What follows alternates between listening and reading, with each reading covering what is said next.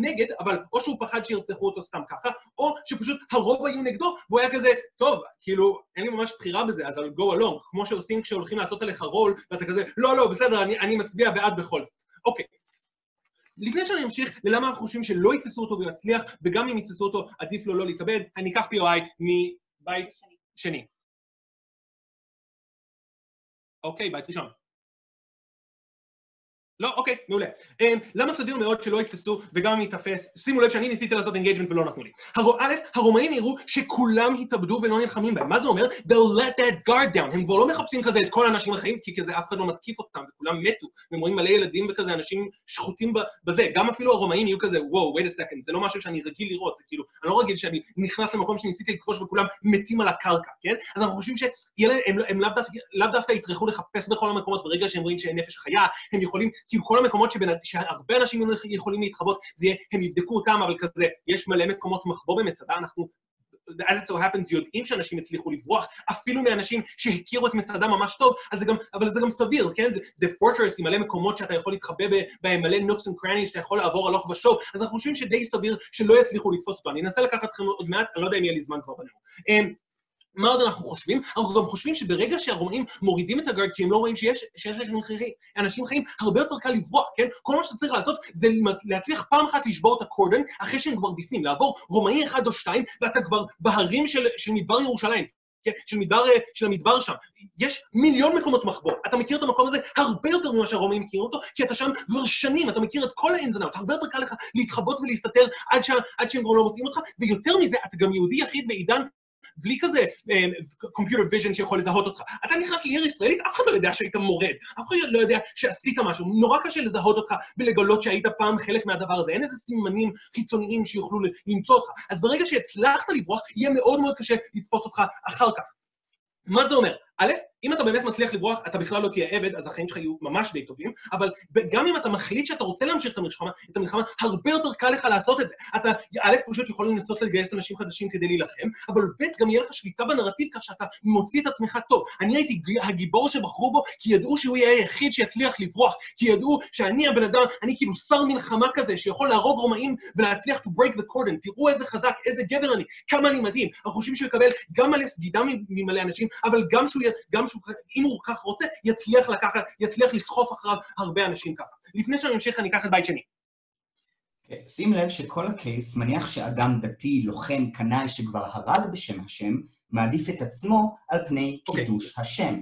שימו לב שא' הרגע הוכחתי לכם שהוא חושב שהוא, שהוא יכול לשקר לעצמו ולהגיד שהוא ימשיך את המלחמה הקדושה שלו, ב' זה נגד הדת שלו להתאבד, אז כאילו אם הוא כל כך קנאי ודתי הוא לא רוצה לעשות את זה, וג' יש הבדל מהותי פסיכולוגי בין להרוג את עצמך, שזה נורא קשה, הרבה יותר מפחיד, והרבה, ויש דיסוננס הרבה יותר גדול מאשר להרוג מישהו אחר, באמת, כאילו, a favor. אוקיי, מה, הלוחם, מה אנחנו עוד חושבים? למה אנחנו חושבים שגם אם הוא מתאפס זה לא כדאי לו להתאבד? אז א', אנחנו חושבים שלרומאים כדאי לטפל בו כמו שצריך, כי לא רוצים שעוד אנשים יתאבדו, הם פשוט מאבדים משוויים כעבדים. אם כל פעם שהרומאים שמים סיג' ואז כל האנשים בפנים מתאבדים, אין להם כסף, הם, הם מאבדים את כל המשכורת שהם היו מקבלים מזה שהם מוכרים אותם לעבדות, והם גם את כל, את כל העבודה הזולה שהם היו מקבלים. ב', אנחנו חושבים ש, שהרומאים מכבדים כוח וגבורה, ברגע שהם רואים מישהו שעשה דבר כזה, שנלחם עד הסוף, ויש רק בן אדם אחד, הם לא כזה צריכים לעשות ממנו דוגמה מטורפת, כי הם, יכול, כי הם מכבדים אותו גם ככה, אז זה יותר סביר שיקחו אותו בתור איזה אה, עבד אישי של מישהו מצלח או משהו כזה. דבר שלישי, האנשים האלה הם בדיוק משהו שיכול לשכנע את הישראלים המעצבנים האלה להפסיק למרוד כל הזמן. אתה אומר לו, תקשיב, בוא עכשיו תגיד שאתה לא שונא את, את, את רומא וניתן לך מלא דברים, כל טוב שאתה רוצה בעולם. שימו לב שאני גם הראיתי לכם שהרבה פעמים לא היה לו בחירה אלא להמשיך כי הוא פחד שירצחו אותו, כי הוא לא יכל לעזוב בכלל. אז גם אם, אם הוא באמת רצה לעזוב, עכשיו הוא מקבל את זה בדרך הכי טובה. תודה רבה.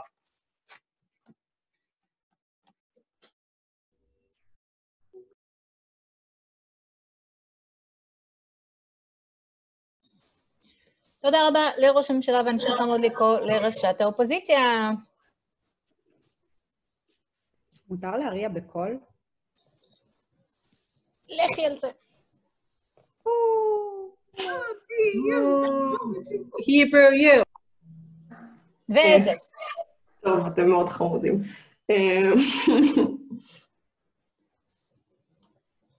בן אדם שגדל כל החיים שלו בתוך הקהילה הקנאית, בן אדם ששמע מתחילת החיים שלו שהדבר הכי גרוע שיכול לקרות ליהודי זה לחיות תחת שליטה של רומי. בן אדם שכל החיים שלו חשב שהוא צריך להילחם עד הסוף, לא יכול פשוט לקבל את זה שהוא יחיה כעבד, וגם לא יכול לחיות, לקבל את זה שהוא פשוט יחיה תחת אה, אה, ארץ ישראל כבושה.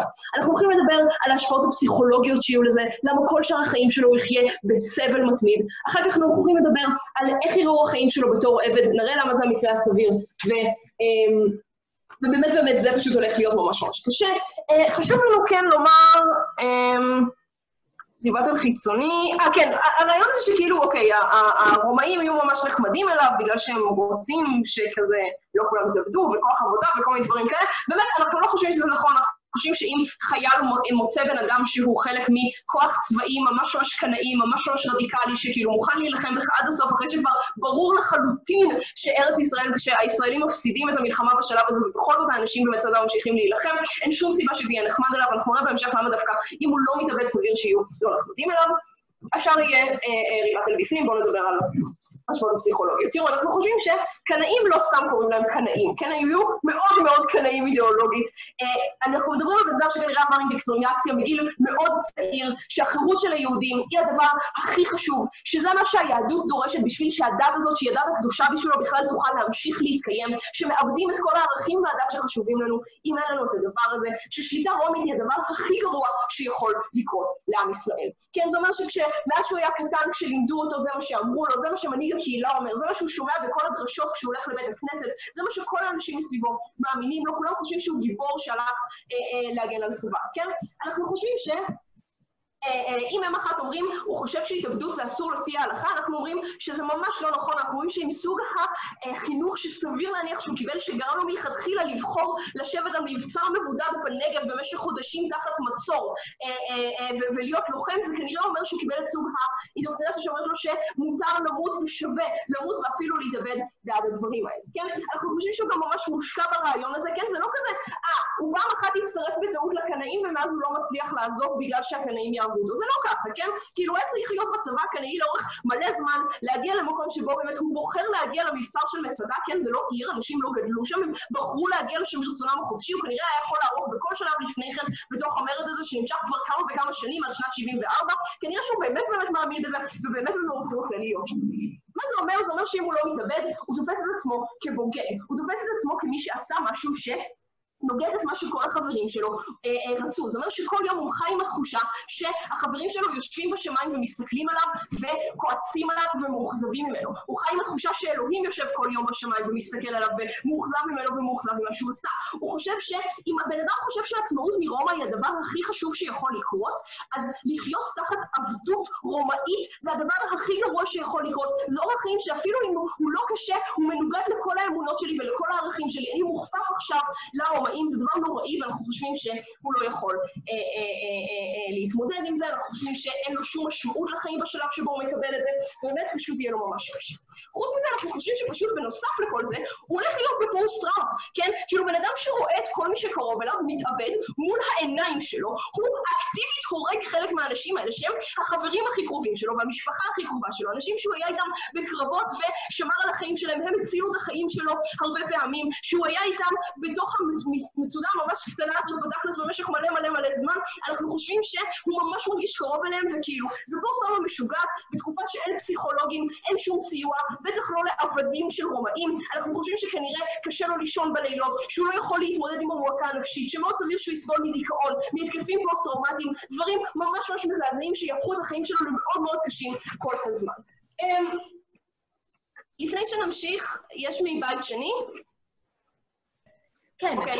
יכולה לתאר את סוג הבן אדם שאת חושבת שנבחר להיות הלוחם האחרון שהתאבד? חושבת שסוג הבן אדם שיבחר להיות הלוחם האחרון זה מישהו מוערך שם, מישהו שכל הקהילה יודעת שהוא באמת מאמין בקוץ שלהם, מישהו שהמנהיגים, ולכן הוא קונה את כל האינדוקטרינציה הזאת, זה מישהו שמבין את הערכים של הקהילה ובאמת באמת מזדהה איתם, ולכן בחרו בו לעשות.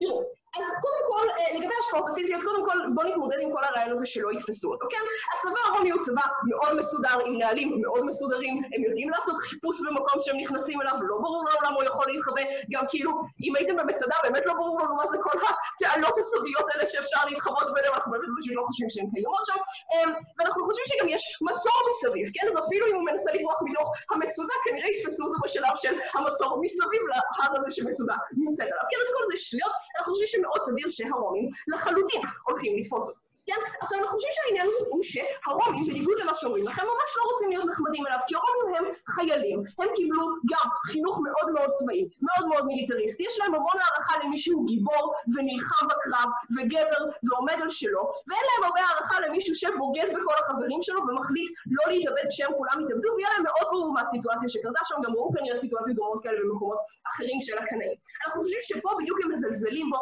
הם חושבים שהוא בן אדם חלאה, הם חושבים שהוא בגד בחברים שלהם, כמו שהם אף פעם לא היו רוצים שלוחם שנמצא איתם יבגוד בהם, ומאוד סביר שכל עוד הוא נמצא תחת החיילים הרומים, משפילים אותו, אה, פוגעים בו, מרביצים לו, מאוד מאוד קשה לו, וסביר להניח שעושים לו אפילו אולי נזק פיזי בלתי הפיך. כן, אנחנו חושבים שאחר כך הוא מגיע להיות עבד, וגם שהחיים כעבד הם נוראיים, כן, זה חיים שבהם משפילים אותך כל הזמן, מענישים אותך בצורה מאוד מאוד קשה, אם אתה לא מציית לחוקים, ולדברים שרוצים. האנשים שלך, אתה לא יכול להחליט מה אתה רוצה לעשות, אתה לא יכול להגשים את עצמך או להמשיך את הלחימה או כל דבר כזה, בטח אחרי שאיבדת את כל המשמעות של החיים שלך, אז עכשיו ללכת לשרת איזה רומאי, זה כאילו משהו ממש ממש נוראי שממש קשה וממש קשה לך למצוא איזושהי תחושה של זהות אי פעם.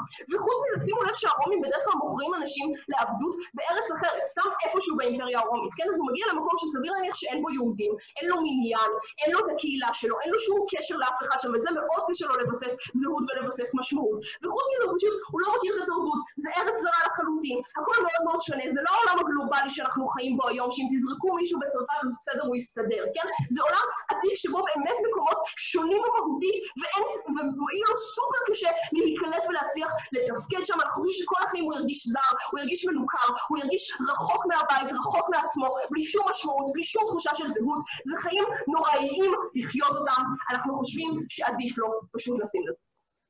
תודה.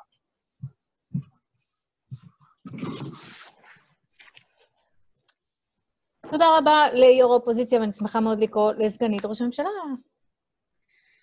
אני חושבת שכל מה שנטע תיארה עכשיו הוא נכון מאוד לגבי... של אנשים שכולם חושבים כמוהו, שכולם חושבים שזה הדבר הכי חשוב, שכולם נותנים עליו לחץ חברתי כדי לעשות את הדבר הזה. ברגע שאתה נמצא היחיד שנשאר ונותר לבד אחר כך, כל מה שאתה חושב שזה חשוב משתנה כבר, וכאילו הלחץ החברתי כבר פחות פועל עליך, אנחנו חושבים שהאדם כזה הרבה יותר עדיף לחיות ולהמשיך לספר את הסיפור איך שהוא ירצה אחר כך. נדבר קצת יותר על למה באמת יש הבדל כל כך גדול בין ביחיד לערבים. נדבר קצת על כאילו באמת למה מוות הוא כל כך מפחיד, במיוחד שאתה חייב להתאבד, שזה משהו שאף אחד מהאנשים האחרים שם לא היה צריך לעבור, ובעצם למה האדם הזה שנשאר אחרון הוא באמת כל כך חשוב. קודם כל טיפה ריבטל, קודם כל זה שכאילו אדם, ש, אדם שגדל, שגדל לתוך כאילו כל ה...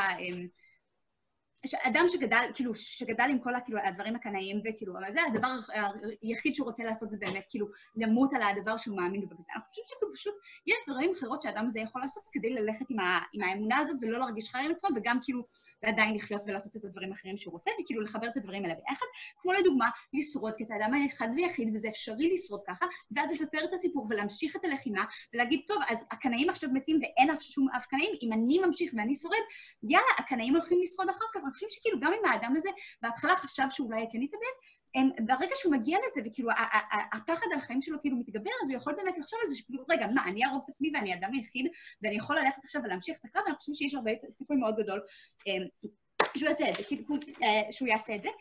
אוקיי, סבבה. דבר, דבר שני, כאילו, כל הנקודה על זה שלא תהיה לי משמעות בחיים אחר כך, כי כזה כל החברים שלי מתים וזה כל מה שהאמנתי לו. אז שוב, כאילו, שוב, אנחנו חושבים שכאילו מה שחשוב פה זה כאילו לכם להמשיך את הסיפור, זה גם כאילו מה שעניתי לפני כן, וזה שכולם יזלזלו בו, אז אנחנו רוצה להזכיר את מה שישי אמר, שהוא שולט בסיפור. הרומאים כנראה לא רוצים שהסיפור הזה יצא, כי זה כאילו איזשהו הפסד שלהם, ולכן כאילו הם ניסו לשמור את זה לשקט, ולכן הוא האדם היחיד שכאילו באמת יש לו סיכוי באמת לדבר על הדבר הזה, והוא, והוא יספר את זה איך שהוא יספר, הוא לא יספר, אה, כולם מתו וגם אני הייתי צריך למות, אבל פחדתי אז לא. לא, הוא יספר את זה כאילו בצורה אחרת, שכולם התאבדו ובחרו בי כדי לשרוד, והוא יכול לשלוט באיך שהסיפור נמצא. אני... כלומר, גם אפילו גם אם הרומאים כן מספרים על זה, יש לו שליטה מלאה בסיפור, ולכן אנחנו לא חושבים שכולם יזלזלו בו, אנחנו חושבים שהוא יכול... אמ, שיכול, וגם מאוד סביר שהוא יעשה לזה טוויסט שיאפשר לו גם לשרוד וגם באמת הם, לעשות את הדברים האלה. אז בואו נדבר שנייה על כאילו איך האדם הזה נראה באמת ולמה איבדתי את הדפים. רגע.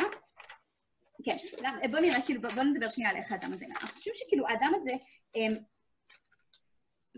כאילו, אמ, שכאילו זה אדם שכאילו הוא, Um, הוא הצטרף כשהוא היה צעיר, שבאמת האמין בדברים האלה, שהאמין שכאילו לישון במערות זה מגניב ולהרוג גורמים זה הדבר הכי חשוב בעולם.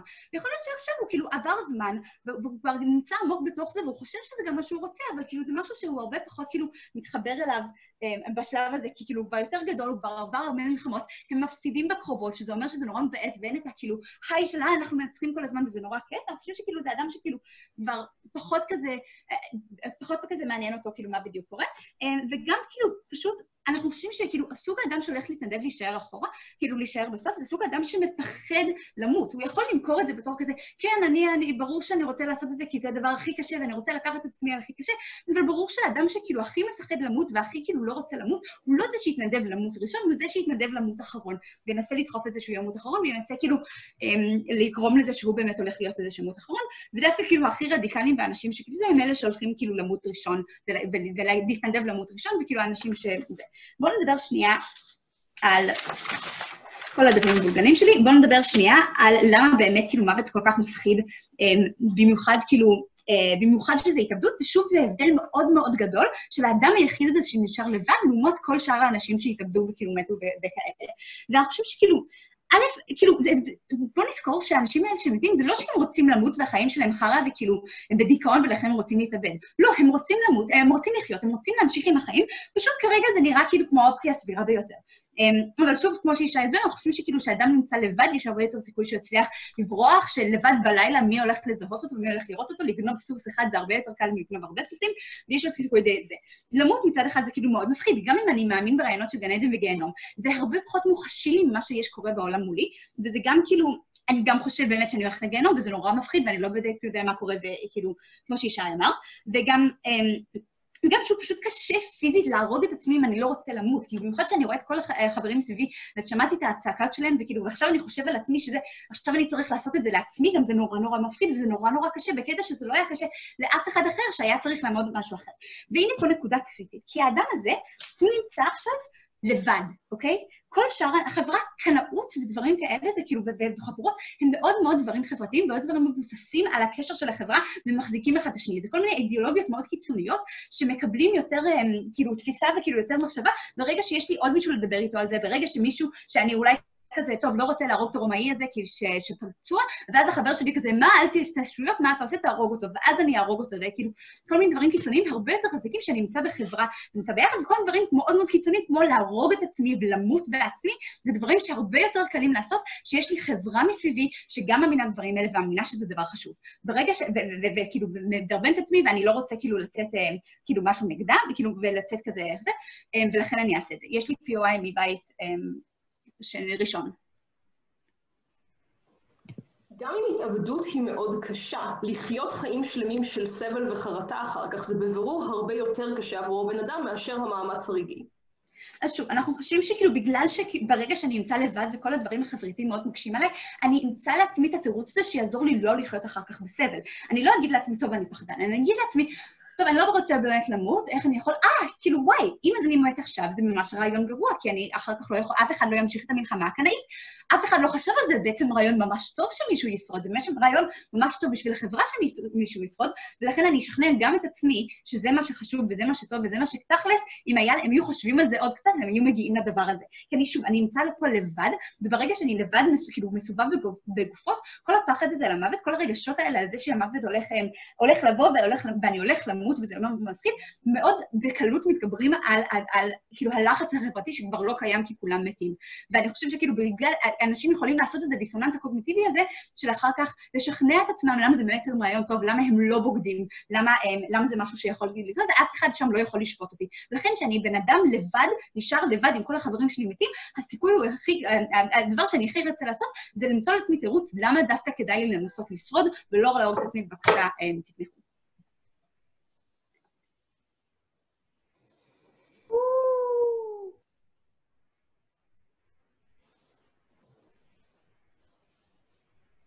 תודה רבה לסגנית ראש הממשלה, ואני שמחה מאוד לקרוא לסגנית יו"ר האופוזיציה.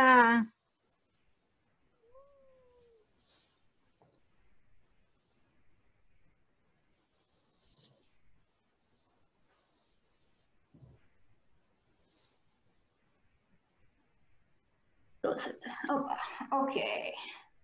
טיימר זה חשוב.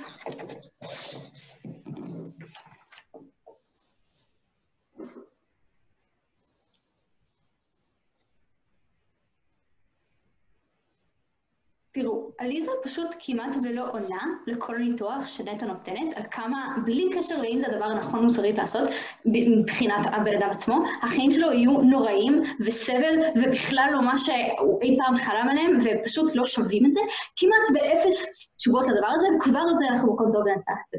אני חושבת פשוט להמשיך לדבר על הדבייט הזה, שתפגשים, א' כל אנחנו נדבר על מה באמת האדם חושב שנכון לעשות מוסרית, אידיאולוגית, ערכית, ולמה על זה לבד, בלי קשר לסבל, אנחנו חושבים שזה הדבר הנכון בשביל לעשות, ואז אנחנו נמשיך לדבר על הסבל הזה, ונעמיק אותו עוד יותר, כי פשוט באמת כמעט לא קיבלנו תשובות על זה, אז מגניב. בואו נתחיל בכל הרעיון של מה הוא באמת חושב שטוב לא לעשות מוסרית. נטע נתן לכם המון המון ניתוח על איזה סוג בן אדם הוא הבן אדם הזה. הבן אדם הזה מבחינת החינוך שהוא עבר, הסביבה שהוא גדל בו, הערכים, איזה סוג בן אדם חייב לבחור להגיע למצב הזה מלכתחילה מבחינת איך הוא ראה את, חי, את החיים שלו ומה הוא עשה ועל מה הוא גדל ועל מה הוא חונך ואיך הוא הגיע למקום שבו עומד עם חברים ועם מלא אנשים שעומדים ביחד, אנחנו עדיף למות מאשר שנלקח, עדיף למות מאשר שנחיה תחת, תחת רומא בלי שנוכל באמת להילחם חזרה, איך הוא הגיע לשם? ולכן למה סביר באופן, הסבירות הרבה יותר גדולה אצלנו היא שמה שהוא מאמין בסופו של דבר זה שלחיות תחת רומאים או לחיות וחוסר יכולת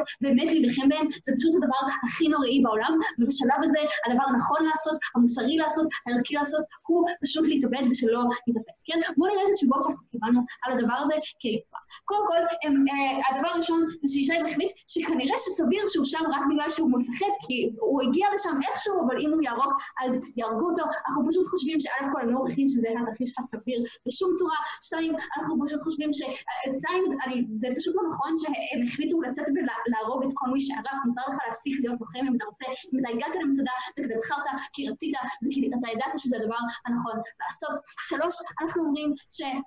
איינשטיין, הם אמרו לנו, מה, הוא, היה צעיר, ברגע שהוא יגדל, בבירור, he'll just get over it.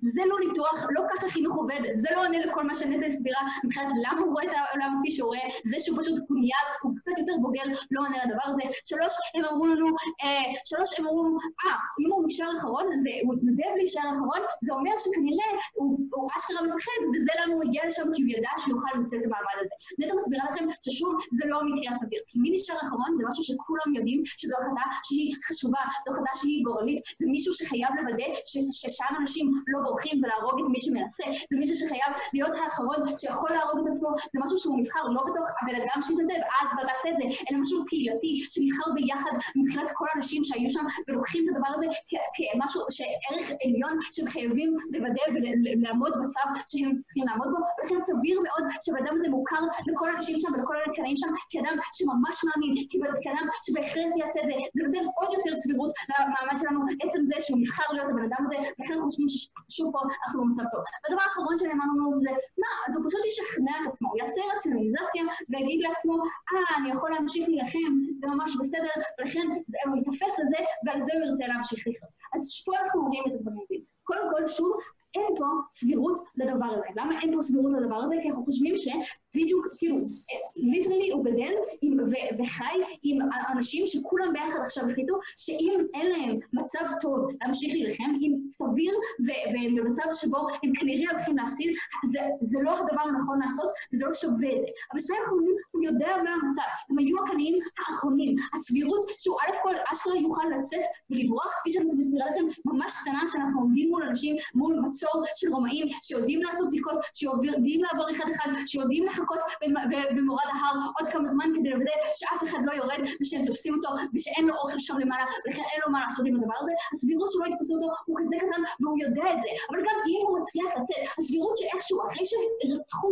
את כל הלוחמים, את כל הגנים, הוא חושב שהוא יוכל להקים משהו חדש ואשכרה להמשיך את המלחמה ושיש לו איזשהו סיכוי לחופש אחרי שרצחו את כולם, הוא ממש ממש קטן. ובשלב הזה, שהוא יודע שזה היה המצב שלו, ובגלל זה ליטרלי כל השאר התאבדו, אז בשלב הזה הוא יודע שהדבר הנכון לעשות הוא לא, לא להיכנע, הוא לא להיות במצב שאולי יחיה את חייו תחת שליטה רומאית, שזה דבר שהוא חושב הנוראי ביותר, שזה בדיוק על זה כמה קנאים נגדו. ולכן בשלב הזה הוא יודע, הוא יודע שהדבר הנכון לעשות, המוסרי לעשות, הערכי לעשות, זה להתאבד. בשלב הזה זה אומר שזה הצו שהוא צריך ללכת איתו, ולכן זו הבחירה שנכון בשבילו להחליט, גם פשוט מוסרית אבל גם, וגם פסיכולוגית, כפי שכל הדוח של ארץ.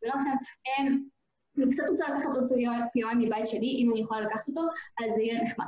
אמ, בואו נמשיך בקליפה סיפורי. אוקיי? אז בואו כבר פה אנחנו אומרים שזה הדבר שהוא צווה עליו לעשות, לכן זה הדבר ש, אה, שהוא הוא צריך לעשות. אבל יותר מזה, אנחנו אומרים שכל הנזק מבחינת איך החיים שלו יראו, מקבל כמעט אפס תשובות, נתתי לכם מלא על כמה הוא הולך לסבול, גם מבחינה פסיכולוגית, גם מבחינה פרקטית איך החיים שלו יראו, וכמה זה יהיה סבל, וכמה אין לו את הדרך לחיות את, את, את החיים כפי שהוא רוצה לחיות אותם, כפי שהוא חייב לחיות אותם, אה, וכל הדברים האלו. מה התשובה שאנחנו מקבלים את זה? בסדר, אבל גם להתאבד ברגע האמת, שאני לבד, ואין לי אף אחד שיהיה שם בשבילי, זה ממש ממש קשה. שנייה אני אשקול בין שני הקשיים האלו, ועל זה אנחנו נצטרך פשוט את הדבק, אבל לפני זה, כן, closing, talk to me.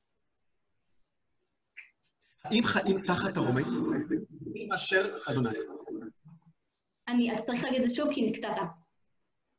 האם החיים תחת הרומאים מפחידים אותי יותר מאשר אלוהים?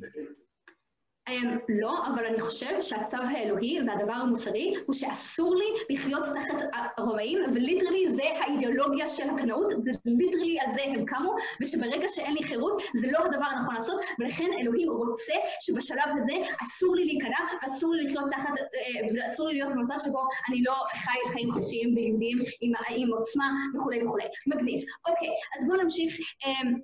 ונעבור הלאה. אנחנו אומרים שצריך לשקול בין הסבל הרגעי הזה, שכמובן להתאבד זה משהו שהוא קשה, אבל זה משהו שאנחנו חושבים שהאנשים האלו הם הורגלו עליו, הם חשבו עליו, זה משהו שהם מוכנים לעשות אותו, לא רק בהקשר הזה, אלא רעיון, הם לוחמים, הבן אדם הזה הוא לוחם שיודע שלפעמים הוא יצטרך לצאת לקרב ולהתאבד על שם משהו מבחינת זה שאנשים אחרים יהרגו אותו, ושהוא יהיה מוכן בשלב הזה. הוא בן אדם שיודע שהוא הכין את עצמו לזה פסיכולוגית, גם כי הם כולם הכינו את עצמם זה ביחד, ואומנם זה משהו שהוא קשה, אבל פשוט אנחנו חושבים שמבחינת הסבל הרגעי שיהיה נוראי כמובן, ויהיה משהו שהוא בחיים לא היה רוצה לעשות, לעומת כל הסבל שנטע הסביר לכם, שכל שאר החיים שלו, אחרי שהוא, אחרי שכל החברים וכל מי שהוא אוהב התאבד מול הפרצוף שלו, שהוא היה חייב להרוג אותם בעצמו, שהוא לא יוכל אי פעם להקים לעצמו איזשהו אורח חיים שהוא רוצה לחיות, איזושהי קהילה, איזשהו דת, כל דבר כזה או אחר, אנחנו פשוט חושבים שהסבל הזה יותר נוראי ולכן שווה לו להתאבד, מכל הסיבות האלו תתנגדו. תודה רבה על החצי הראשון של הדיבייט, אני שמחה מאוד לקרוא למרחיבת או מרחיב הממשלה לפתוח לנו, לא, מרחיבת.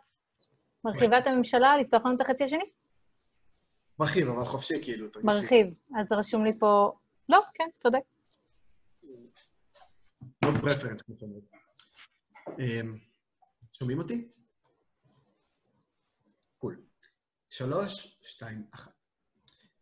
אני קנאי דתי שמוכן להקריב את החיים שלי למען אדוני. הרגע שבו אנחנו נמצאים זה רגע קבלת ההחלטה. ואני שואל את עצמי, למה אני ברגע הזה? האם הכל היה לשווא? למה אדוני שם אותי עכשיו במבחן הזה להחליט אם אני הורג את עצמי או לא? אני חושב שזה פשוט לא סביר שדווקא אני פה, המנהיג החזק ברגע הזה, רק נמצא פה והכל היה לשווא, ואף אחד לא ידע מה קרה פה ביום הזה.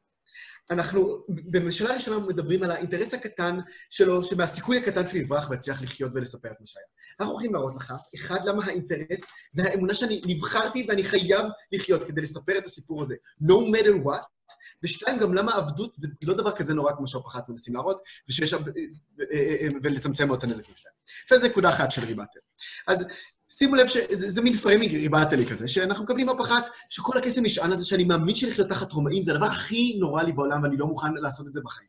אבל הן נותנות לי ב-POI concession, שזה פחות אכפת לי מאשר לאכזב את אלוהים. ואחרי כשאנחנו נדבר על מה אלוהים מצפה ממני, ואנחנו כבר קודמים לכל הטיעון שלהם על, על, לפי המטריקה שלהם, שהם הסכימו עליו ב-POI. עכשיו בואו נדבר, למה אני חושב שנבחרתי לספר את הסיפור ואני חייב לעשות זה? חושב שקודם כל חשוב להגיד שאני לא מכיר את יוספוס פלביוס, אני לא קראתי את מדינת היהודים, ואין לי מושג שהולכים לדבר עליי באליפות הארץ ב-20. 20. לכן מה שסביר שאני מאמין, שכשהרומאים שורפים בתי כנסת, כשהם רוצחים יהודים, כשהם רודפים אותי רק כי אני יהודי, אני מאמין שהם יעלים את הסיפור הזה ואף אחד לא יספר את זה והסיפור הזה ייעלם. עכשיו, למה אני חושב שזאת החובה שלי לספר את הסיפור הזה ברגע ההחלטה הזה? קודם כל, כי אני חושב שאלוהים בחר בי להחליט ברגע הזה מה אני עושה. הוא שם אותי ברגע ההחלטה הזאת, ולכן הוא כנראה מצפה ממני לעשות משהו. אנחנו חושבים ש... האנשים האלה מתו, ויש לי את האמונה הדתית והעמוקה שהאנשים האלה צריכים לא למות סתם, לתת משמעות למוות שלהם, ולהראות שהם מתו בשביל לקדם את המטרה שאני מאמין בה, בשביל מה שכולנו הקרבנו וסיכנו את החיים שלנו עד עכשיו, וזה הדת והאמונה שארץ ישראל צריכה להיות של היהודים. בדיוק בצורה דומה לזה שהיום אנחנו עושים ימי זיכרון כדי להראות שהחיילים שלנו לא מתו לשווא, ומנסים לתת לרגע הזה משמעות. אני גם חושב שזאת האמת שהיהודים, אה, שארץ ישראל שייכת ליהודים, שהדת הנבחרת היא הדת היהודית, ולכן אני חושב שזאת האמת ואני חייב להפיץ אותה ולהראות לכולם שאדוני הוא אדוני אחד, ואנחנו צריכים להקריב את חיינו בשביל אדוני, ושכולם ישמעו את הסיפור של החברים והמשפחה שלי, שיקריבו את עצמם למען אדוני. אני חושב שהם... אה, אה, אה, שאולי יש לי איזשהו עדיין תקווה וסיכוי קטן שאני אצליח לעורר מרד בקרב עבדים אם אני אהיה בקרב אנשים יהודים. אם אני יכול לספר את זה, ואולי זה, רק הסיפור יגרום לאנשים עד אולי 50 או 100 או 200 שנה, לקום מחדש ולנסות להקים את מדינת ישראל, את ארץ ישראל, הם, אה, תחת שלטון יהודי. וכל הדברים האלה, זה פשוט מראה שיש לי פשוט חובה לספר את הסיפור, וזה הרבה יותר הגיוני שאלוהים שם אותי ברגע הזה, כדי לקבל את ההחלטה המוסרית והנכונה, ולספר את, את הסיפור שהחברים שלי עשו פה, מאשר שהוא שם אותי ברגע ההחלטה הזאת, סתם כדי שהוא שכולם ישכחו אותם. ועל זה אופוזיציות מנסות להגן. עכשיו, אני גם מאמין שאני אוכל לספר את הסיפור הזה, א', כי אדוני איתי, אם הוא בחר בי לקבל את ההחלטה הזאת, סביר שהוא גם יתמוך בי ויעזור לי בהמשך, ואם יהיה איזשהו סימן אחר, אני תמיד יוכל להתחרט ולהתאבד, זאת אומרת, הסיכוי הזה לא נעלם. אה, אה, ולכן, ושתיים, אני גם, יהיו עוד עבדים יהודים, זה דבר שהיה נפוץ בכל האימפריה הרומית, ולא רק בארץ ישראל, ולכן סביר שאני באמת אוכל לספר את זה לעוד אנשים, או שעבדים אחרים יספרו אחד לשני, ובסוף זה יגיע לאנשים אחרים. עכשיו, אני חושב שזה דבר שהוא הכי חשוב פה, יותר מעבדות או יותר מחיים תחת הרומאים וכל דבר אחר. אחד, אנחנו יודעים שאני כבר הקרבתי המון בשביל האמונה. אני עזבתי את הבית שלי, את המשפחה שלי, את העבודה שלי. אני קנאי דתי וסיכנתי את החיים שלי כבר עשרות פעמים עד הרגע הזה, ולכן זה ברור שהדת והאמונה בלי יותר חשובה לי מכל דבר אחר, בטח מעבדות גם אם נוראית. שתיים, אני באמת כבר אין לי חיים אחרים לחזור אליהם, ולכן אם עשיתי את כל זה וויתרתי כל החיים, זה ברור שאני מתעדף את הדבר הזה. שלוש, כמו שאופחת אומרים, קיבלתי אינדוקטרינציה כל החיים שלי, שהקהילה והדת זה הדבר הכי חשוב בעולם, וזה דבר יותר חשוב מכל דבר אחר, וזה בדיוק הסיבה, ואני חושב שיש לי חובה לספר ולהעביר את הסיפור הזה הלאה, ולכן אני הרבה יותר מפחד מלאכזב את אדוני ולקבל את ההחלטה הלא נכונה ברגע הזה, למרות שהוא עכשיו הגיע אליי, שהוא התגלה אליי, הוא הכניס לי את המחשבות האלה לראש, של אולי עדיף לי לא להתאבד ואני צריך להעביר את המסר ואת החובה הזאת, הפחד מלאכזב אותו ולא לעשות זה הוא הרבה יותר גדול מאשר הפחד של לחיות תחת רומאים. ולכן כבר פה אנחנו מנצחים תחת המטריקה של לא פחד, שהיא המחויבות לקהילה וזה שהדעת קודמת לכל. אמ, לפני שאני אמשיך לטיעון השני, אני אשמח לבית ראשון. בית שני. גם אם איכשהו תברח, מה שלא סביר, הסיפור שלך הולך להיות בדיוק כמו הסיפור של הרומאים, לא שינית את זה. מה שכן, אתה הפרת את ההבטחה שלך לוועד המכונן של המצדה, שהוא האוטוריטה של אלוהים שלך. אני חושב שהקומפרטיב פה הוא לא בין האם אני מספר או הרומאים מספרים. אני חושב שאף אחד לא יספר, אין לרומאים שום אינטרס לספר על היהודים הגיבורים שהקריבו את חייהם למען אדוני. לכן כשאני חושב פה, עם הסיכוי הקטן, שגם תחת עבדות, אני אספר את הסיפור הזה והוא יעבור הלאה, בנוסף לזה, שאני חושב שזאת חובה שאלוהים שם אותי ברגע הזה בשביל הרגע הזה, והוא בחר בי להיות זה שמספר. הדברים האלה הם הרבה יותר חזקים מאשר זה שאני, שהרומאים שאף פעם לא יספרו את הסיפור הזה, וזה הקומפרטיב הנכון. עכשיו, בואו נעבור לטיעון שלי, למה בקומפרטיב בין עבדות למוות, אנחנו באמת חושבים שעבדות היא לא כזאת נוראה, כמו שמרים ונטע מנסות להציג את זה בפחד. בואו נתחיל מנקודת מבט אובייקטיבית. א', אנחנו חושבים שהחיים בעבדות הם מאוד תלויים בעלים. יש הרבה מאוד סיכוי שיש בעלים שהתייחסו לעבדים שלהם די בכבוד ודי בצורה סבבה, לא כולם היו אלימים ורעים כמו שאנחנו רואים בסרטים הכי נוראים, באמת היו בעלים שהתייחסו לעבדים שלהם בסדר, כנראה שהחיים שלהם פחות טובים מאשר לא להיות עבדים, אבל הם לא היו כאלה נוראים. ואפילו התקווה הזאת שיש לי, שאולי אני אפול על בעלים שיתייחס אליי בכבוד, היא כבר גורמת לזה שאני הרבה פחות מפחד מהחיים האלה. שתיים, הרבה עבדים עדיין יכלו להקים משפחה, לקיים איזושהי זוגיות כלשהי בקרב עבדים, וזה עדיין דבר שנותן לי תמריץ לבוא ולעשות את זה ולתת לי משמעות לדברים אחרים. שלוש, כל מיני חברים, כאילו, אני יכול להקים להכיר עבדים אחרים, שאני יכול להיות חבר שלהם ולעשות כל מיני דברים שהם חיוביים, על אחת כמה וכמה כשאני יכול לספר להם את הסיפור שלי, ועדיין זה נותן לי עוד דברים טובים תחת העבדות.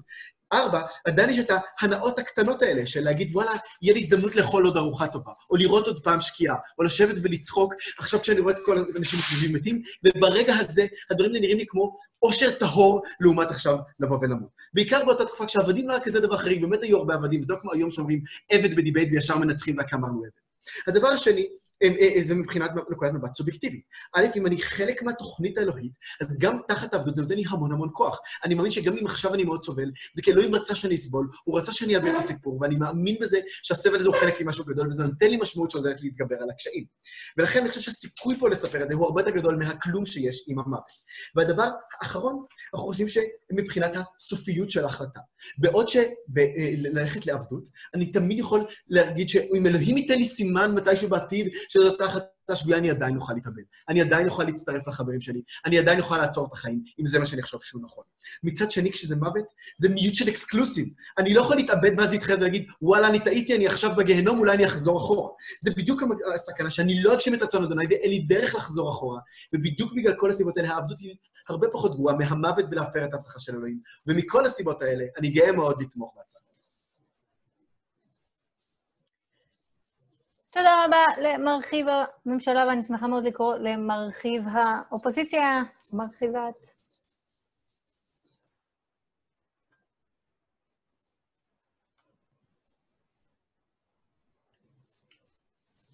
היי. רגע. אוקיי.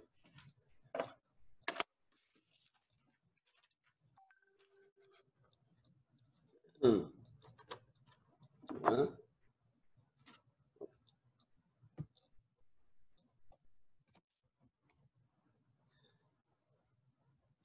שלוש, ארבע, כן, מוות זה מפחיד, וכן, התאבדות זה חטא. אבל כמו שהרב של גטו ורשה אמר, לא נלך כצאן לטבח. הממשלה אומרת לנו, להרוג את עצמך זה ממש קשה, ויש לך פנטזיות שאולי תימלט ויהיו לך חיים מאושרים וכן הלאה. אופוזיציה אומרת להם תשובות די הגיוניות שזה לא fucking סביר, כשהאימפריה הרומית היא לא רחמנית, יש מאה אלף אנשים, כאילו חיילים רומים בשערים שלך, יש לה משאבים בלתי נגמרים לצוד אותך, אתה תחיה עד סוף חייך כעבד, ואף אחד לא יאמין לעבד במילא. אנחנו אומרים לכם משהו נורא פשוט, וזה ההרחבה שלנו בדיבייט הזה. כל השאלות בחצי ראשון על טובתו האישית של הלוחם האחרון לא רלוונטיות לדיבייט לפי האפיון שחצי ראשון עצמו קיבל. מה שבאמת משנה לו הוא ההבטחה שלו לאחים שלו שמתו, ההבטחה שלו לאלוהים, והמסר שיעבור אחרי זה, המורשת שהוא ישאיר. אני רוצה לדבר איתכם על שני דברים. א', למה מה שחשוב ללוחם האחרון זה המסר שיעבור ולא טובתו האישית, ולכן זה מה שבא לפני כל הכלי של חצי ראשון. דבר שני, אני רוצה להסביר לכם למה יש הבדל משמעותי במסר שעובר בין אה, זה שיש לוחם אחד שנשאר, לבין זה שכולם התאבדו בצורה הירואית. אסביר לכם איך זה פוגע במסר. שזה רק נקודת ריבוטל אחד והרוב יהיה משורשר. אומרים לנו בממשלה, אני חייב לחיות כדי לספר את הסיפור שלי, אני אוכל להכתיב את הנרטיב, זה בעצם מקדש את השם. תקשיבו, אתה עבד. מי יאמין לעבד? הפסדת במלחמה, אז יודעים שיש לך תמריץ לשקר. לרומאים יש כוח הרבה יותר חזק ממך לבנות נרטיב. יש כמויות שלהם, הם, אה, אה, הם הולכים לבנות אנדרטאות שמפארים אותם ולא אותך, לא ברור שיהיה לך באמת שליטה אה, במסר. וחוץ להיות עבד, זאת השפלה, אתה הוכחה ניצחת להפסד של היהודים, שאתה לבוש בסחבות ונגרם כעבד כל חייך.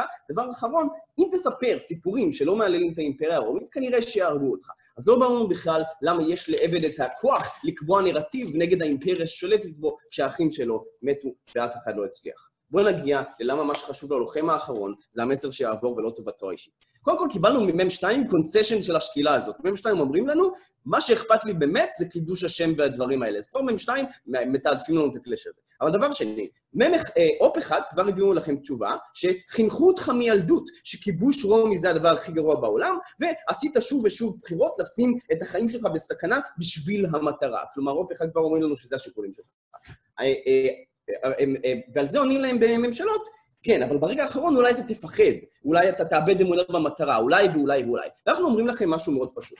הם לא רואים את הסיפור הזה מהעיניים של בן אדם דתי, בן אדם דתי וקנאי, שכבר הוכיח שהוא מוכן למות בשם השם ולחיות חיי סגפנות. למה חושבים שהוא יתעדף את ההבטחה שלו לאלוהים על פני כל ההטבות בעולם הזה? א', לאדם דתי, גן עדן שווה אושר נצחי ואינסופי. אין שום תועלת בעולם הזה, כמו אולי שיהיה לו עוד חברים עבדים חמודים שהוא מדבר איתם, כמו האושר הנצחי בגן עדן. דבר שני, הוא יודע שאם הוא יצליח להימלט מההבטחה שהוא הבטיח לשם, הש- השם רואה אותו בכל מקום שהוא הולך, והוא יהיה מקולל בכל מקום שהוא הולך. מ"ם שתיים אומרים לנו, כן, אבל אני אספר לעצמי שאני נבחרתי, ואלוהים בחר אותי, וזה בעצם מקדש את השם.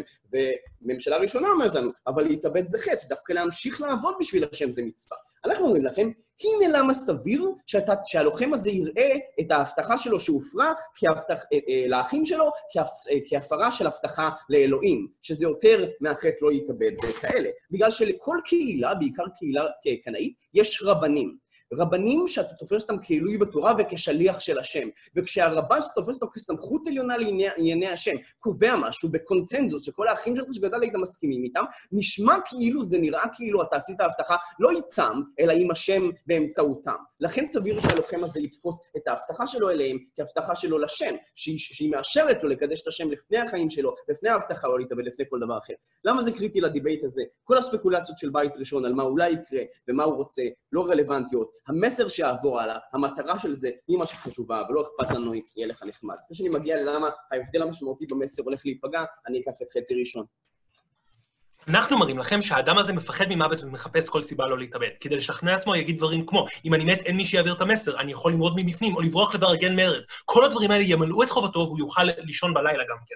אתה צודק לגמרי בזה שאמרתם לנו את זה, אבל הרגע ניתח אולם מדובר באדם דתי קנאי, כלומר קיצוני, שהבטיח שבועה לרב שלו שהוא חושב שהיא עם אלוהים, ויש לו הרבה יותר מה להפסיד בגן עדן וכן הלאה, אם הוא מרגיש שהוא מפר הבטחה לאלוהים. שתיים, למה יש הבדל משמעותי במסר שיעבור בין האחד הזה שנשאר לבין זה שכולם מתו? שימו לב, למה הקנאים בחרו להתאבד למרות שזה חטא? הם הניחו שלפעולה שלה יש אימפקט אמיתי בעולם שישרת את השם.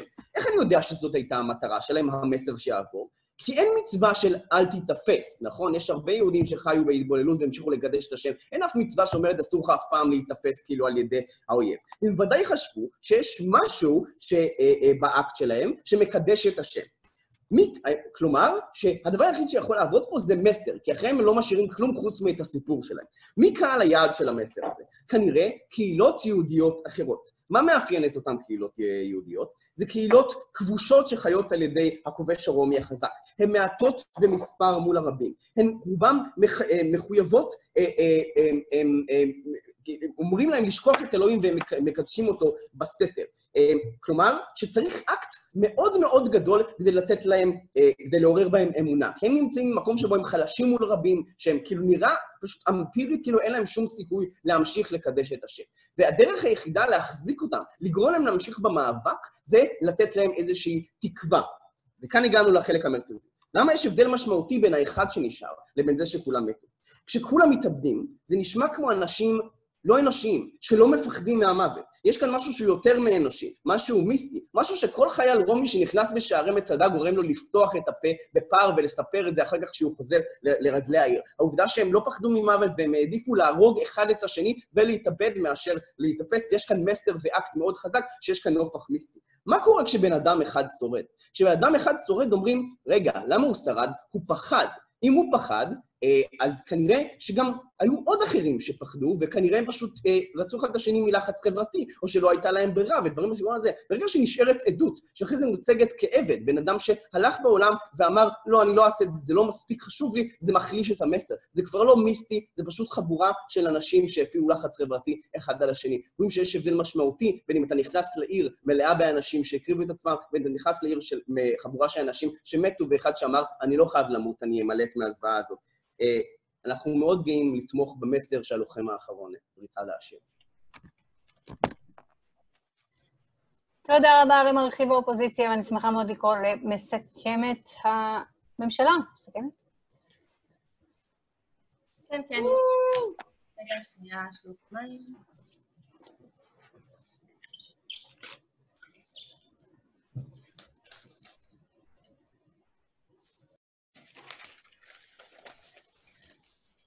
קול קול.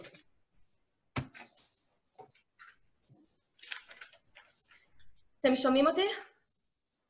אוקיי, אני מתחילה... סיוון, סליחה, את לא על mute וזה מסיח את דעתי. הסטרס התמידי שפתאום נשמע דברים. טוב, אני מתחילה בעוד שלוש, שתיים, אחת. תראו פאנל, יש הסכמה בדיבייט שהבן אדם הקנאי הזה, הדבר שהכי אכפת לו ממנו, זה רצון האל והאמת הדתית. זה אומר שאם אנחנו נראה לכם שא', הוא מאמין שהוא נבחר על ידי אלוהים כדי להפיץ את הסיפור וכדי לשמר את האמת של הדת שלו, ושתיים, הוא מאמין שהוא יצליח לעמוד במטרות האלה בגלל שאלוהים בחר בו כדי לעשות את זה, ולכן הוא יעזור לו ויתמוך בו, ושלוש, שהוא יותר מפחד לא לעמוד במשימה שאלוהים הציב בפניו מאשר מהמוות, אנחנו מוכיחים לכם שאנחנו אלה שמנצחים את הדיבייט. איך נעשה את זה?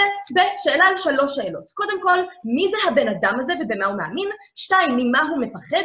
ושלוש, מה המטרה בלחיות? בואו נדבר על מי הבן אדם הזה ומה הוא מאמין. כי מ"ם אחת, חוץ מלהגיד לנו שהוא בן אדם דתי, לא נתנו לו יותר מדי על מי הבן אדם הזה. אופוזיציה ראשונה אומרים לנו שני דברים. קודם כל, הוא מאמין שהוא גדל לתוך הקהילה הזאת, וכל החיים בתוך הקהילה שלמד שזה הדבר הכי גרוע זה לא לחיות בעצמאות ולחיות תחת שליטה רובית. מה שאנחנו אומרים, מה שאפילו נטע אומרת במילים שלה, זה שהעצמאות, שהעצמאות הזאת היא הכרחית להמשכיות הקהילה. שימו לב שברגע שהוא הבן אדם האחרון, זה אומר שאולי עצמאות הייתה כלי למטרה, אמצעי בסופו של דבר המשכיות הקהילה בצורה המיטבית. אבל מרגע שהצורה המיטבית האידיאלית נלקחה ממני, והדרך היחידה לשמר את המשכיות הקהילה, והאמת שהיא צו אלוהי, זה בהישרדות שלי ובניסיון שלי להפיץ אותו הלאה, זה הדבר שנהיה הכי חשוב לי. זה הדבר שנהיה הכי חשוב לי. ושתיים, הן בעצמן אומרות לנו שהוא מנהיג בתוך הקהילה, שהוא סגולה בתוך הקהילה, שכנראה הוא יודע את הכתבים הדתיים והוא מנהיג והוא היה אה, חכם והוא היה בן אדם מאוד מאוד בכיר. אופוזיציה שנייה אומרת לנו שאולי רבנים החליטו עבורו שהוא צריך לעשות איקס. אנחנו אומרים, אולי הוא היה אחד מהרבנים האלה בעצמו ובגלל זה הוא נבחר להיות האחרון, ולכן הוא גם חושב שיש לו את היכולת לפרש את הצו האלוהי הזה. ובגלל זה ברגע האמת, כשהוא שואל את עצמו, למה אני נבחרתי ומה התפקיד שלי עכשיו, הוא מאמין שבגלל... בגלל היכולות האלה שלו, בגלל שהוא מנהיג וסגולה וחזק וחכם, הוא נבחר כי לו יש את הסיכוי הכי טוב להמשיך ולהצליח לעמוד במבחן הזה שאלוהים מציב לו. מעבר לזה, גם אם זה לא נכון, ברוב הפחד מהמוות הוא עושה לעצמו רציונליזציה שזו הסיבה שהוא נבחר, בגלל שיש לו את המשימה הזאת, בגלל שהוא רוצה להמשיך לחיות.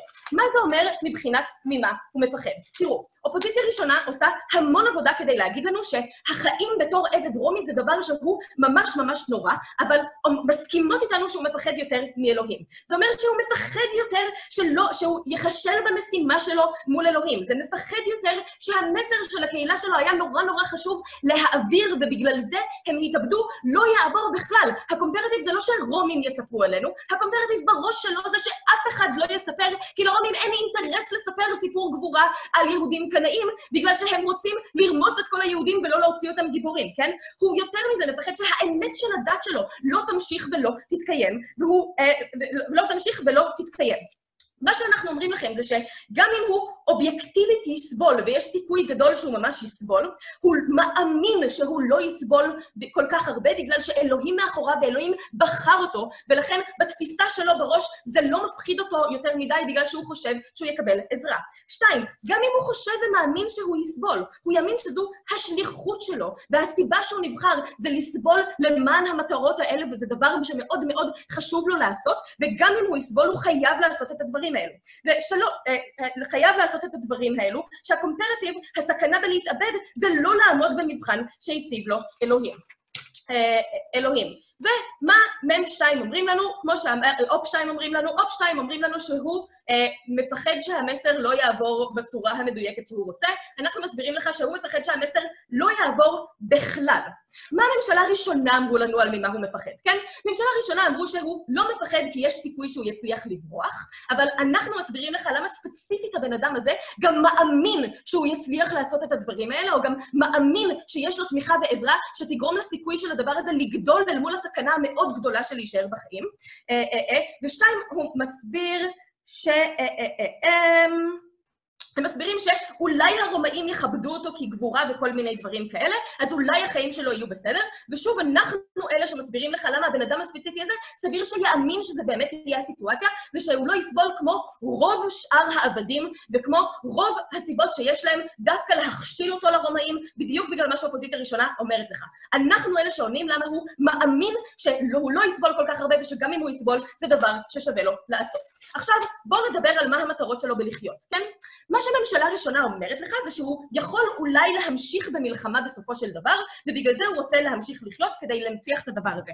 מה שאנחנו מסבירים לך זה שהוא חושב שהוא יצליח לעמוד במשימה, לא של ספציפית לנצח בעוד מלחמה וליצור עוד מרד, למרות שזה סיכוי. שקודם כל חשוב לו לספר את הסיפור ולהעביר את המסר שעל שמו אה, מתו כל, הקהיל, כל הקהילה שלו, ושתיים, להמשיך להפיץ את האמת של הדת שלו בצורה הזאת, כן? לספר את הסיפור של מי שמת ולהפיץ את האמת של הדת כדי להבטיח את המשכיות הקהילה. והוא יוכל להמשיך לעשות את זה, אולי אם הוא יהיה עם עבדים יהודים, הוא יוכל לעשות את זה בשושו. אולי אם יהיה עבדים לא יהודים, הוא עדיין יכול לספר להם את סיפור הגבורה הזה של הקהילה שלו, ושהם יתפסו את זה בצורה כזאת, וזה לא שהוא הולך, עכשיו הולך לפרסם את זה בעיתונים ושכל הרומאים ידעו שהוא מספר את זה, הוא הולך לספר את זה לאנשים שהוא פוגש בשקט בלי לחשוף את השם שלו, כדי לא, שלא ידעו שזה הוא. לפני שאני ממשיכה, בית שני. כן, אוקיי, אז הוא סיפר את זה למאה אנשים יהודים שהוא פגש בחיים שלו. איפה האימפקט פה על הקהילות היהודיות בעולם שישמעו על סיפור הגבורה? אוקיי, אבל אתם באמת לא ניתחתם בשום צורה למה הרומאים יספרו את סיפור הגבורה של הקהילה היהודית הזאת? למה הם לא יסתירו את זה? למה הם לא פשוט ירמסו את מצדה? אתה חי בעולם של אחרי, ואתה רטרואקטיבית יודע שזה קרה, אבל הבן אדם באותו רגע אין לו מושג והוא מפחד שזה לא יספרו בכלל, כן? ואנחנו אומרים שסבבה, אז הוא מספר לעשרה אנשים, אולי למאה אנשים, אולי זה לא אימפקט גדול, אבל בראש שלו זה הסיכוי להמשכיות של הדת והאמונה שלו והסיפור של אותם אנשים. זה אומר שאולי אותם אנשים ימשיכו ויספרו לשאר האנשים ועוד יפיצו בסיפור הסיפור גבורה הזה, לפחות יש לו סיכוי להישמע, לעומת העולם שלך שאין לו סיכוי להישמע. אנחנו חושבים שכשזה זה מבחינת סיפור הגבורה והמסר שהסיפור של הקהילה שלו רוצה להעביר. הדבר השני זה אולי הוא יצליח אפילו להפיץ את האמת שלו, של הדת שהוא חושב שהיא צד אלוהי. גם אם הוא מצליח לשכנע שניים, שלושה עבדים לא יהודיים, שזאת האמת וזה הדבר הנכון, הוא גם מצליח שהוא, י... הוא מאמין שהוא יצליח לעשות את זה בגלל שזו המשימה שאלוהים נתן לו, ובגלל זה הוא חושב שהוא יצליח כי אלוהים תומך בו ויעזור לו. אופוזיציה ראשונה מתעלמות לחלוטין מהמטרות הנוספות האלה שיש לבן אדם הזה, מהערכים שהוא מאמין שהוא חייב להמשיך את הקהילה ולספר את הדבר הזה, הן מתעסקות רק בזה שהוא מפחד מהמוות, ולכן הן לא מתמודדות עם הדבר הזה. בגלל שאנחנו הראינו לך מה האמונה האמיתית שלו ולמה הוא מאמין שהוא יצליח, אנחנו מנצחים את הדיבייט.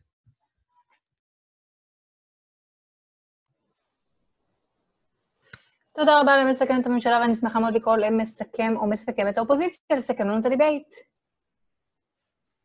תודה רבה, אני מאוד מתרגש.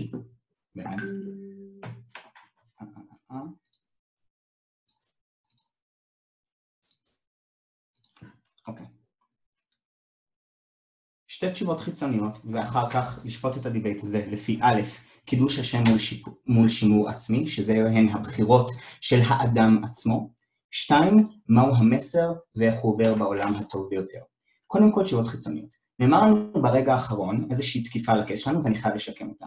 נאמר לנו, למה אנחנו יודעים בכלל שהמסר הזה הולך להגיע לקהילות מסוימות או אה, רומאים? יש לנו כמה וכמה תשובות וחשוב להכניס אותן. א', אנחנו יודעים שהרומאים יהיו חייבים לספר שכולם מתים, בגלל שהם לא מביאים עבדים, הם לא מביאים שום דבר, יש מספיק כוחות בשטח שנמצאים שם כדי לראות שכולם מתים, זה הולך להגיע אליהם. שתיים, אנחנו יודעים שהרומאים, או בכלל התרבות ההלניסטית, שתופסת את עצמה מאוד מאוד גדולה, מאוד מקדשת את ההיסטוריה, ואנחנו יודעים שיש מגילות ואנשים שכתבו ממש את סדר האירועים בתוך מצדה, דברים שיימצאו, אבל בלי קשר הם הולכים להמשיך ולספר את הסיפור שזה מה שהיה. שלוש, נראה לנו מאוד מאוד הגיוני שהרומאים יתלהבו מאוד לספר שהם הגיעו לאיזשהו מקום, וכל האנשים יתאבדו בו מרוב פחד. במרוצת השנים נוכל לנכס את זה מחדש, נוכל להגיד מה שאנחנו רוצים, אבל הם ירצו לבוא ולספר שכולם כבר היו מתים, כי זה יתרון לאימפריה שלהם. דן ארבע, אנחנו אומרים, שימו לב, וזה חשוב, זה נכון שגלעד אמר שהמסר הזה הוא רלוונטי לקהילות הדתיות. אבל המסר הזה לא מגיע רק לקהילות הדתיות, אנחנו חושבים שכן, אבל זה גם מסר של אדם וקהילה כלפי השם. זאת אומרת, זה נכתב בספר. השם יודע כל דבר, הוא רואה את זה, הוא מבין את זה. אם אתם לא עשיתם, אם אתה היחידי שלא עשה את זה, הוא גם יודע שהמסר עצמו לא היה עד הסוף. ולכן האקט הזה הוא ביזוי גם כלפיו, ואם אנחנו מאמינים בסופו של דבר שכל היהודים מכירים, אז זה כן יהדהד בסיפור היהודי בסופו של דבר. אז כן המסר עובר לפחות מנקודת מבטו של האדם הזה. שתיים, נאמר לנו הרבה מאוד תשובות על זה שהבן אדם חושב באותו רגע שהוא נבחר על ידי אלוהים. אז א', שימו לב שגלעד ניתח לכם שיש אוטוריטה גדולה יותר ממנו שאמרה לו, לא, אתה צריך ללכת להתאבד, שזה הרבנים לאותו מקום. שתיים, סביר להניח שלא היה קרב רציחות. לא אמרו יהודים, יאללה, תעשו מכות והכול, ובאופן אקראי הוא זה ששרד, כי זה נשמע לנו חטא הרבה יותר גדול. נשמע לנו שהייתה איזושהי הסכמה או איזושהי הגרלה, והם עברו אחד-אחד, עד שנותר בן אדם אחרון. זאת אומרת שהוא מיודע לזה שהוא הוכוון להיות האחרון, הרבה לפני, הוא לא פתאום מצא את עצמו ביום ברור, ונאמר לו לאורך כל הזמן הזה שהוא הולך להתאבד. שלוש, נאמר לנו, אולי הוא אחד הרבנים. אנחנו אומרים, אוקיי, אבל לפי המושן הוא לא רב, לפי המושן הוא לוחם. פנאטי, אבל לוחם, וגם אם הוא היה איזושהי סמכות דתית, למה זה יותר מכל שאר הסמכויות הדתיות שהגיעו להסכמה במניין או אני לא יודע מה. ואז אמרו, מה, אבל רגע, מרוב הפחד מהמוות. וזה איזשהו non-debater שאנחנו מקבלים מכל צד הממשלה, בסופו של דבר אתה לא יכול להחליט להתאבד. ושימו לב שבעצם העובדה שאנשים כן מחליטים להתאבד בעולם ever, אנחנו צריכים להניח שיש איזושהי ראיית תעלה מסוימת, ראיית מנהרה כזו, שמאפשרת לבן אדם לבוא ולעשות את זה. אנחנו ניתחנו לכם מהו הפחד לא רק מאיך הולך להיראות חייו, אנחנו לא חושבים שהוא שוקל את זה יותר מדי באותו רגע, אלא המסר והאינדוקטרינציה שהוא קיבל מבחינה דתית עד לאותו רגע, ומה החשיבות של המסר הזה יותר גדול מחייו. דבר אחרון, לפני האחרון, אנחנו יודעים שאם הוא ייתפס, הסיכוי שהוא ייתפס, לא רק ש...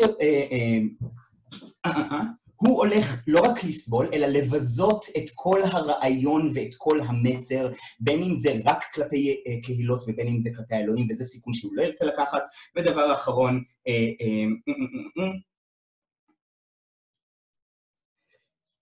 לא משנה, אני אמשיך לקלאשים. סליחה, אני הלכתי. אוקיי, קלאש ראשון, אני אתחיל דווקא עם המסר, כי אנחנו חושבים שזה דבר יותר חשוב. אז אמרו לנו מי יעביר את המסר. ואנחנו אומרים, קודם כל, שלא סביר, א', אם הוא ייתפס שהוא יוכל באמת להעביר את המסר, כמו שגלעד הסביר לכם, אבל ב', גם אם הוא הצליח איכשהו לברוח, שימו לב, האופוזיציה הראשונה לא אמרה שאולי הוא יכול לברוח, לא חושבים שזה סביר ואנחנו מסכימים איתם, אנחנו לוקחים גם את המקרה הזה, מי הולך להאמין לו? הוא הולך להיות במחבוא, הוא הולך להיות בן אדם אחד אל מול תעמולה רומאית ענקית. גם ככה הולכים להיות סיפורים שדי אומרים בערך את אותו דבר. למה זה הדבר החשוב? אין לנו תשובה מזה, ולכן הקייס של הממשלה השנייה לא באמת נותן לנו אימפקט. ואחר כך אנחנו אומרים שהמסר הולך להיהרס לחלוטין.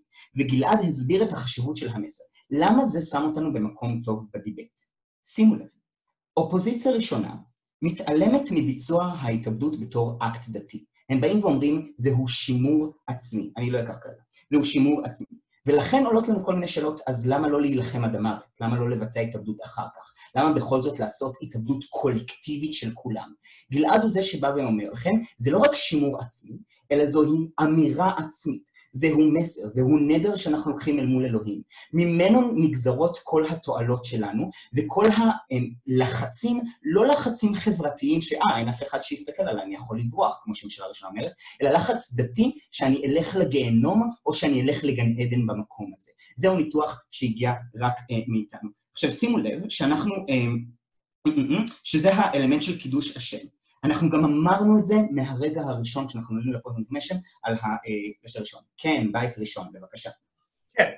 הרומאים חכמים כמו גלעד ולא ייקחו סיכונים של מרד בגלל שהתרבות שלהם אומרת לשמר היסטוריה או כי הם התלהבו. המפקדים יגידו שהם הרגו את הקנאים ונגמר הסיפור כדי לא לתת לעוד מרידות לקרות. קול, אולי, או שהם יגידו שמרוב פחד כולם התאבדו.